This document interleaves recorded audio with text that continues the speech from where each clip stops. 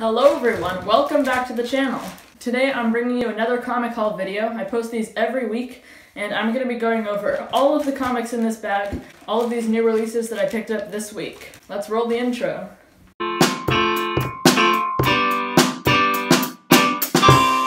Alright, as always, let's pull these comics out of the bag.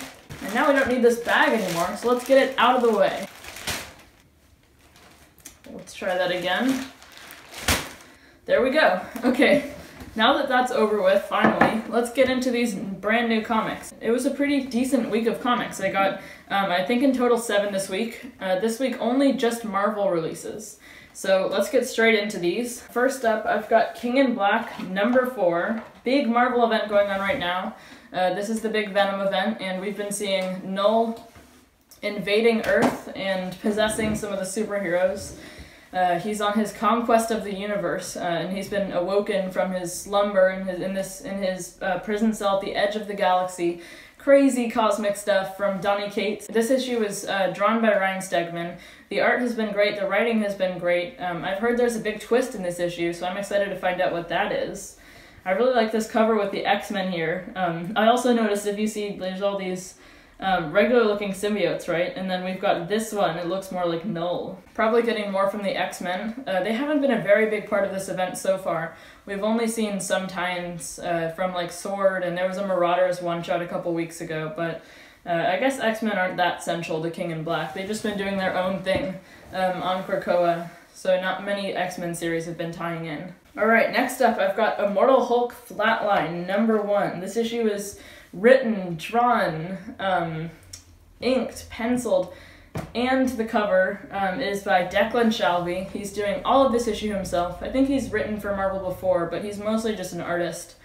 Uh, I've been really enjoying these Immortal Hulk one-shots that Marvel has been putting out. They've all been pretty good in quality. They haven't like let me down. They've been pretty much as good as the main Immortal Hulk run, maybe sometimes better. That cover alone is enough for me, but the interior art should also be really cool. I don't know what to expect. I don't know any of the details on the story, but yeah, Immortal Hulk Flatline number one.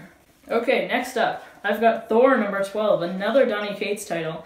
It feels like whenever he releases something, there's like always some other release in that same week. I think he likes to put out a lot of his comics in the same week, so uh, this is written by Donny Cates, like I said, an artist by Nic Klein, who's been doing a great job on Thor so far. In recent issues of Thor, in this Prey story arc, we've been seeing Donald Blake back from this pocket reality that he's been dormant in for so long. If you don't know, Donald Blake is Thor's alter ego, and uh, it, was like the human version of himself that he would go into when he was first banished to Midgard uh, by Odin. So I like what the creative team has been doing with um, bringing back Donald Blake. It's a good idea, and now he's evil and uh, last issue, I'm really excited about this. There was a cliffhanger where we saw um, Donald Blake confronted by Throg, this human that was turned into a frog with a sliver of Mjolnir, who is also worthy, and uh, Lockjaw, who's basically my favorite Marvel character.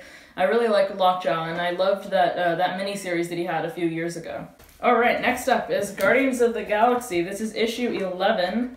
Um, issue 12 will be the last issue of this era of Guardians, and issue 13, we still have the same writer, Al Ewing has been writing this, but issue 13 marks the start of a new era of Guardians, with um, a bunch of new teammates added, Doctor Doom among them, super, super weird, but I guess we'll see what the deal is with that once that starts. Um, and there's also going to be a new artist. But the art on this issue specifically is by Juann Cabal, and I think he's also finishing off the series with issue 12. This issue, we see them going back to the Annihilation site, which is where the team was first formed during the Annihilation and Annihilation Conquest events. We'll see what leads into this into this new sort of series relaunch of Guardians. Alright, now a King in Black tie-in. We've got Miles Morales Spider-Man, issue 23. This issue marks the return of uh, artist Carmen Carnero to the comic. She's one of the She's one of Marvel's Stormbreakers, which is this program that puts the spotlight on certain artists and they get the chance to work on um, bigger projects for the time that uh, that they're in this program. So I'm glad we're getting a King in Black tie-in out of the Miles series.